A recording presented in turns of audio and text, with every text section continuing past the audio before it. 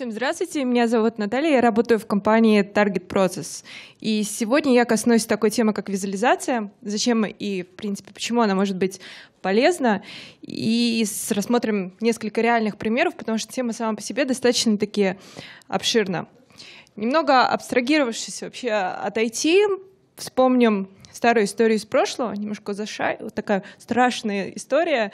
А, посмотрим, почему визуализация может быть полезна, какие подходы есть а, к визуализации, буквально по парочку примеров на каждой.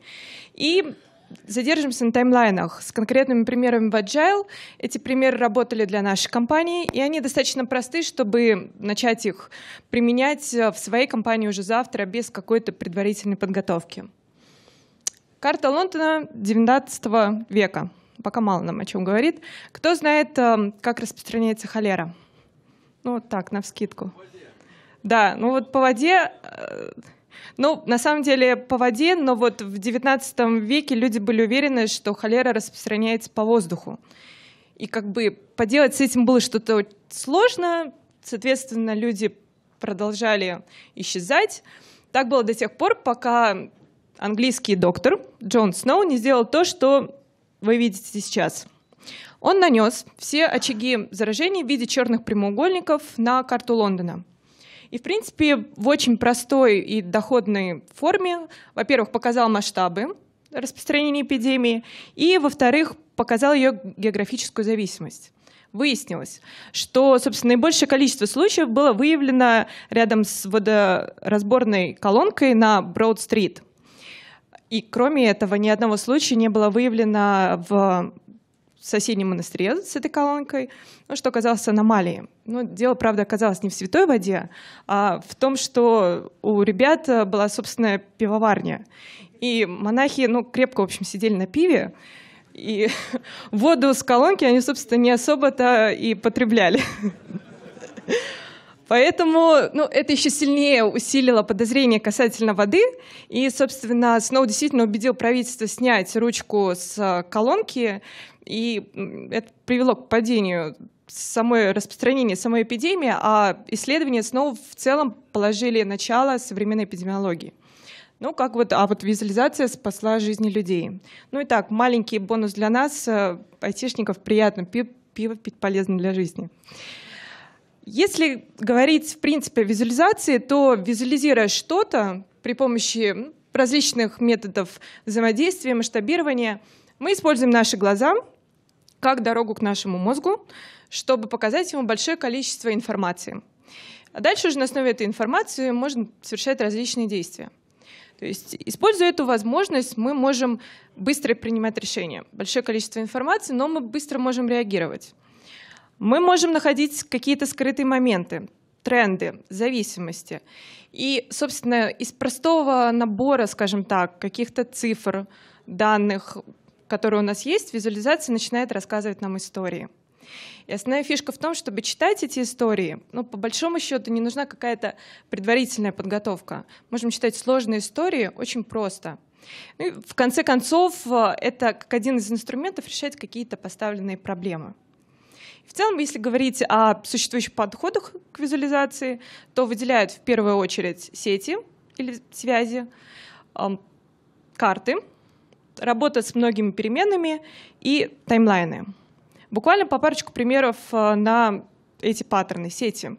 Сети достаточно известные, простые, очень хорошо работают, когда нам нужно построить какую-то иерархию, взаимодействие. Самый распространенный пример — это, собственно, MindMap. MindMap сегодняшнего доклада. Если говорить о сетях даже в нашей каждодневной работе, в проекте, достаточно взять структуру проекта, ну это самый глобальный такой, конечно, вариант, расположить э, фичи, которые есть в проекте, разделить эти фичи на user story, которые потом возникают на основе из каждой из этих фич, и показать, какие таски, баги относятся к каждой из этих user story, это дает очень классную штуку понять, что если мы засели на каком-то таске или баге, а, собственно, откуда ноги растут? А может быть, достаточно пойти к первому человеку, который вот э, придумал самую-самую большую эту фичу и сказать ему, вот мы на таске засели, ну, может быть, нам не так важен этот таск сейчас, потому что сама фича немножко не предполагает использование этого таска.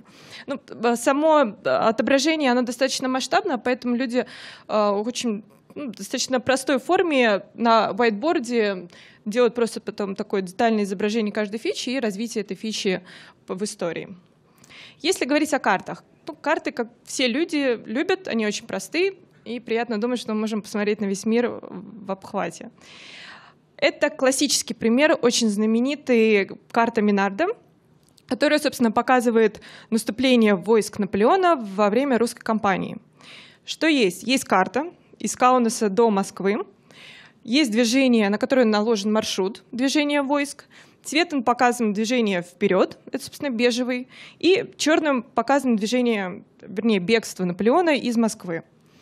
Ширина линии очень, очень наглядно показывает численность войск, когда Наполеон вошел и, собственно, вышел.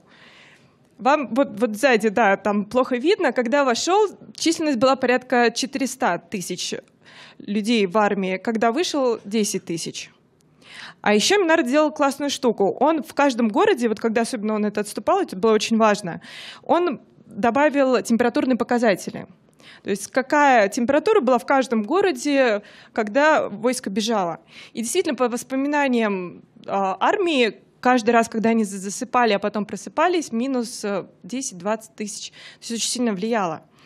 И это отличный пример очень качественной информации, которую можно рассматривать, визуализации информации. То есть ее можно рассматривать долго, можно делать разные выводы.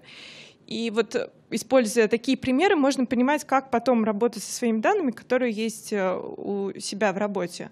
Ну, то есть самый простой пример, это понятно, отобразить, допустим, либо покупки, либо то, как часто заходят на, на ваш сайт, предположим, разного мира. Но даже добавив простую интенсивность цвета, понятно, куда дальше Э, может быть, э, кинуть взор на какую область мира. Если говорить о многих переменах, то это самый сложный тип визуализации, потому что он заставляет нас думать. Это тогда, когда нам нужно отобразить сразу много параметров. 2, 4, 6 параметров за раз и понять, а как они между собой относятся. Приведу конкретный пример. Это визуализация New York Times.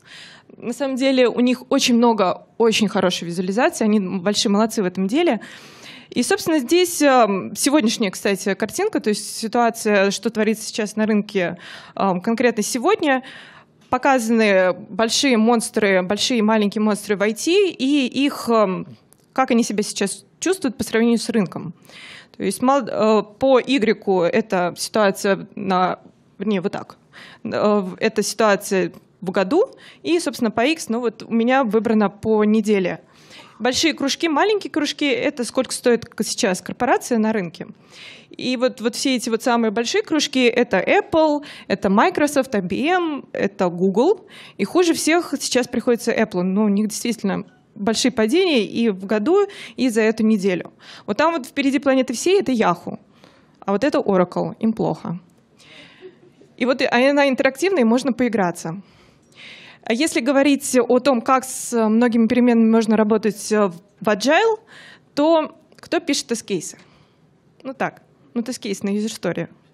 А много тест-кейсов на user story никто не пишет. Но вот если нужно понять, а нужно писать тест-кейс или не нужно, можно, предположим, отобразить в виде точек все ваши user story, Собственно, по X кидаем количество багов, а по Y кидаем, сколько тест-кейсов написали на эти user story. И смотрим, а действительно ли написание тест-кейсов приводит к тому, что мы обнаруживаем меньше багов. А если, допустим, добавим еще, ну вот в нашем случае, да, действительно, но если еще добавить размер, в зависимости от estimate а на эту user story, можно прикинуть, допустим, маленьким user story, пиши, не пиши тест кейс, а все равно баги не находятся. А вот для больших действительно, да, ну, наверное, стоит опять же, работа с многими переменными — это та же матрица. Еще один пример, ну, много было примеров, на самом деле, портфолио Board, который мы используем у себя внутри компании. То есть стикер — это проект, он, проект проходит по каким-то фазам, а, можно добавить горизонтальные линии. В нашем случае горизонтальные линии — это могут быть клиенты, для которых мы делаем, предположим, эти проекты. Отлично работает, когда вам нужно понять э, на очень, очень высоком таком уровне эм, директорат, топ-менеджмент, что вообще происходит. Ну, то есть где, где у нас приблизительно проекты сейчас располагаются. Но если добавить стикерами, обычными цветными стикерами, еще и команды, которые сейчас на этих проектах работают, а если еще там повесить цветной магнитик и, предположим, выходим из бюджета, не выходим из бюджета, а если бюджет еще написать на стикерах, допустим, сколько было в начале, а сколько уже использовали, очень становится информативно и очень понятно, куда и как можно в ближайшем будущем, по крайней мере, ожидать. И, собственно, таймлайны. Время — это вообще вещь достаточно особенная, да. В пробках на этой неделе кто стоял? Ну, серьезно? Такие счастливые все? ну вот, час, проведенных в пробках и час, проведенный в вчерашнем баре на вечеринке Agile Days — это немножко разные вещи. И вот для того, чтобы уйти от этого субъективного восприятия времени, таймлайны работают очень хорошо. Ну, это так, это у нас э, висело в офисе, очень классная просто визуализация, потом, если что, погуглите, довольно-таки известная, это как между собой герои в различные в течение фильма взаимодействуют. Ну, в данном случае «Властелин кольца». Если говорить о таймлайнах именно в Agile, это то, что висело у нас э, долгое время на кухне, где мы проводили стендапы.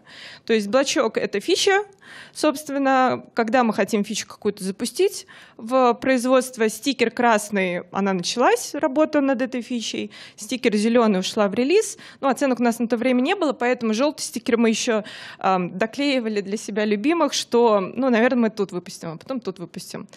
Ну, не выпустили, ну потом выпустим. А если появлялись какие-то еще идеи во время стендап-митинга, мы еще стикерами разбивали эти фичи прямо тут же, прямо на roadmap, клеили и кидали в будущее, что мы хотим потом еще заимплементить. Опять же, уровень масштабирования может быть разным. Можно сразу накидать информацию по двум проектам. А можно наоборот спуститься глубже и посмотреть, а что у вас конкретно люди делают на проектах, на каких багах, на каких тасках. И в зависимости от того, как люди работают, еще какой-то форекаст раскидать, ну, какой-то прогноз на будущее. Или можно наоборот точно такой же таймлайн построить о том, как вы работали над какой-то user story или какой-то фичей или каким-то отрезком работы. То есть, собственно, были в прогрессе, потом пошли в тестирование, потом опять вернулись. И если прикрепить даже вот э, фотографии вашей команды на каждый конкретно такой этап, станет понятно, кому бежать, если у нас там месяц в разработке висит user story. А если вот это вот же workflow и поднять на уровень выше, то есть такая отличная штука, которую в свое время придумал э, Эдвард Тафти.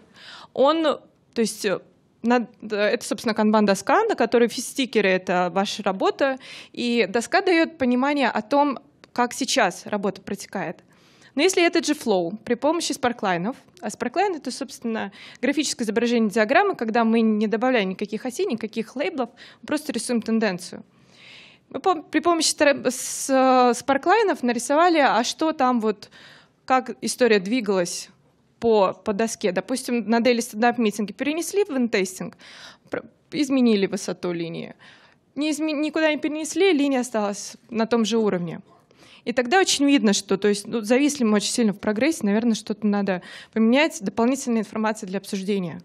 Или колбасит очень сильно туда-сюда, ну, может быть, требования плохо проработаны, или что-то такое происходит. И в итоге информация совсем по-другому, без новых метрик, без новых каких-то изменений в процессе можете подарить себе новые идеи о том, что может быть улучшено и что может быть изменено даже вот завтра. И пару книжек, которые считаются одним из основополагающих по визуализации, это работа Джак Бертин и Эдвард Тафти. Э, очень хорошие книжки. Всем спасибо.